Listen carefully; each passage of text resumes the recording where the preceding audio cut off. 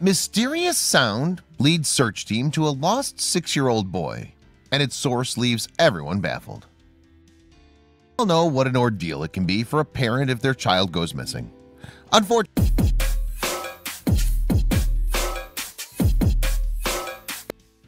Fortunately, a family living in Blount County, Tennessee had this unpleasant experience when their boy Caden Leach vanished from the home April 23, 2018 at 6 p.m., more or less. They started to feel despondent and presumed the worst consequences. The whole community of Blount County was compassionate and came to their rescue, aiding the search and troops finding Caden. They left no stone unturned in their search, and when the 22-hour search operation ended, everyone was electrified by what they witnessed, as Caden had company. Caden Leach, a playful and friendly six-year-old, loved spending his time outdoors and happened to be a mischievous kid, much like any other kid of his age group. Born and raised in a small community known as Top of the World in Blount County, Tennessee, his parents were protective of him, but they let him play outside as long as he didn't roam too far from his place. One of Caden's favorite pastimes involved playing with animals. He had a soft corner in his heart for pet animals and loved playing with his adorable dog, whom he called Chula. Chula was a black and white terrier, and Caden would usually spend his evenings playing with Chula outdoors. He would always make it back home in time, but one evening it didn't happen to be the case. On the evening of Monday, the 23rd of April 2018, Caden's parents were expecting him to be back home until 6 p.m. like always, but their worries grew when that didn't happen. Initially, they thought that Caden would be somewhere near their home, but when the clock ticked away and no sign of Caden appeared, they eventually decided to call James Lee Berrong, the Blount County Sheriff. Protecting one's child is a natural trait associated with parenting. A parent could go to any limit to make sure their kid's in a safe place. There's no denying that missing one's kid is a dreadful experience. With passing time, a parent starts thinking about the worst future outcome. Every passing minute adds up to their worry, and they're willing to give everything away to have their kid back home. Caden Leach's parents were stuck in a similar situation as their six-year-old suddenly vanished on that evening in April 2018. They were unable to figure out how he disappeared and where he could possibly be. It was completely unforeseen as Caden was aware of his curfew and he would always make it back home in time. The sun was about to set and it was getting cold outside. Caden's parents were tensed for the boy as he didn't have any warm clothes on. Going by the rules, one must wait 24 hours before reporting a missing person, but that didn't imply on a six-year-old missing in a small community. There was not much time left to sit around and waste. The sheriff immediately filed a report and released an alert for Caden. The Tennessee Bureau started their investigation within an hour by releasing an alert at 7 p.m. The alert contained Caden's description that was reported by the sheriff asking the community to aid in finding the kid. Caden's parents described him as 4 feet tall, weighing around 27 kilograms, that's 60 pounds, having blue eyes and brown hair. They also gave a description of what he was wearing at the time. He had gray sweatpants and a black t-shirt on. When releasing an alert couldn't help much, the sheriff launched a large-scale rescue mission. An Army helicopter was recruited to patrol over the woods and search for Caden. In addition to it, a ground operation was also conducted with 100 volunteers covering 2,000 acres of mountainous area. Numerous ground forces were appointed to search the area that included Blount County Sheriff's Department, local fire department, the search and rescue team of Blount County, the TBI, and the FBI. All the troops banded together to find Caden as soon as possible. The spokesperson stated that the teams won't rest until they find Caden. The local community also offered a hand when they got to know about the whole thing. They couldn't just sit keeping hands in hands while there was a child out there struggling for his life. An IPAWS message was broadcast by the community's emergency services just a couple hours after the incident to alert everyone about the situation and update them with time. Every possible way that could get them close to Caden was being utilized. In addition to the IPAWS message, an application named Nextdoor was used to circulate the messages. Nextdoor is a platform that provides neighborhoods with their own private social network. Although some individuals were unable to help directly, they did make sure they were part of the process. The top of the world community made collective efforts to find Caden. For instance, a local volunteer got a phone call regarding Caden's disappearance when he was coming back from work. He headed straight to the mountain to check what was up. We're a tight community, and we try to help everyone, he stated. When Megan Kessler heard the news about Caden's disappearance, she used her own resourcefulness to provide the volunteers with food and water. We're not among the first 100 volunteers who could search, so we did what we could. We brought coffee and chili and basic supplies that were help to the search team. It was made sure that every resource that could get Caden to the earliest was put to use.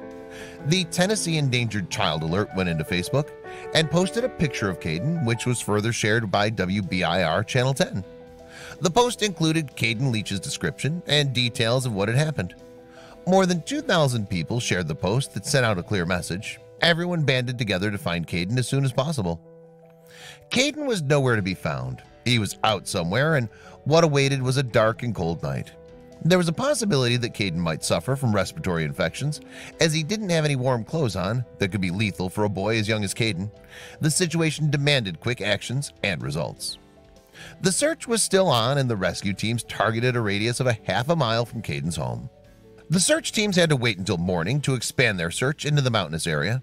It was natural for Caden's parents to be worried. They were blaming themselves for allowing him to play outdoors. It was only a matter of time before they'd find Caden, safe and accompanied. They were determined to find Caden. The rescue teams were working day in and day out. Not only that, the Blount County community would help by disseminating eatables and water bottles to the rescuers. They knew that a six-year-old wouldn't have gone far away, and they were not going to rest until they found Caden. It had now been hours, and Caden's parents' worry was growing with time. They were thinking of the problems that their little son was having starving, being frightened and lonely. Finding a six-year-old boy in the woods was not a walk in the park, but it was much easier to search for Caden during the day. The search teams contemplated and came up with new ideas, praying that Caden was okay. The morning time went by in a flash, and Caden Leach was nowhere to be found. The clock was ticking, and they had to make the most of the daytime, as the night would only aggravate the situation, both for Caden and the search teams. The search teams were not willing to give up anytime soon, so in an effort to find the boy before the sun sets, they now started reassessing their methods. Caden's parents were now questioning themselves if something more gruesome had happened to their son instead, the likes of which they'd never witnessed in their community. Caden was still missing at the time, and there were only a few places left to look for him. Even the sniffer dogs couldn't track Caden, and it appeared as if he'd vanished into thin air. The possibility of Caden falling into the lake and drowning wasn't ruled out either, but that didn't turn out to be the case with him. Fortunately, the ground search was still on, and the Black Hawk helicopter patrolled over the area. They also searched the abandoned buildings to look if Caden went in there the other night looking for shelter, but nothing seemed to work. When the conventional ideas were not giving them the result they'd hoped for, the rescuers tried getting into Caden's mind and starting to think as a six-year-old missing kid would. They were now searching the places they wouldn't have before. They didn't realize it yet, but they were only a step away from finding Caden. There was only one place left where the search team had not been, and if they couldn't get Caden there, only God knew where he was. The ground crew strenuously searched the other end of the woods in an effort to find him before the sun sets. Just when they least expected, their ears caught a noise that piqued their curiosity. The rescue team started to advance towards the growling noise. As they marched forward and got closer, the growling got louder. Unaware of what they might bump into, they started chasing the sound. They had to figure out the exact place where the growling came from, and by the sound of it, it could be a dog. At the same time, it could be numerous other things as they were in the middle of the woods.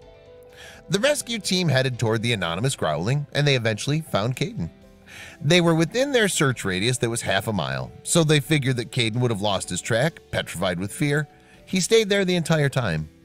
However, what took everyone by surprise and left them astonished was that Caden was accompanied by someone the whole time he was lost. Caden was ultimately found at 3.30 p.m. after a search operation which lasted 22 hours, and as things unfolded, the growling happened to be his black and white terrier, Chula. When the rescuers advanced toward Caden, the dog began growling, so Chula is the protector, stated Jeff French, BCSO Chief Deputy. Caden sat petrified when he was discovered by the rescuers. When asked if he was fine, he replied, very cold. His skin had turned purple due to the cold and he didn't seem well. The clothes he had on were comparably thin and were not enough to keep him warm through the night. He was also questioned where he lived, to which he gave his address, but his home wasn't the first place where he was taken after being rescued. It was a traumatizing incident, not only for the parents but for Caden as well. He was also away from his family for the last 22 hours or so. Before he could go home, Caden was taken to Blount Memorial Hospital and was kept under medical scrutiny for some time. The rescuers wanted to ensure that he didn't suffer from post-stress traumatic disorder or any other medical condition. Caden was still under medical scrutiny at Blount Memorial Hospital when his family announced his return. Initially, no such information about Caden's medical condition or how he disappeared was divulged. In their statement, the family thanked the rescue team and the volunteers who gave their best for the purpose. They also thanked the local authorities who helped find Caden. They expressed their gratitude to all the neighbors and asked for privacy. The last 22 hours were harrowing for the Blount County community. But all's well that ends well. The community rose to the occasion and was as joyous as Caden's homecoming. The news of Caden's return was well received by the media and was widely celebrated on social media as well. A well-wisher took to Facebook and wrote, I'm so glad he was found safe. The community felt an array of emotions for almost 22 hours, and eventually when Caden was found, the concerned faces were now relieved. The other families in the vicinity could relate to the situation as hundreds of them were parents and grandparents, and it prompted them to give their best for the purpose. The sheriff thanked every single individual who spent the previous 22 hours out in the vicinity, helping them in accompanying a dauntless task. The operation involved distinct squads named the TBI, FBI, Fire Department, Rescue Squad, and their own Sheriff's Department. They worked as a team, the fallout of which was quicker results and a successful operation. The bond between a dog and a human is the ultimate bond of friendship.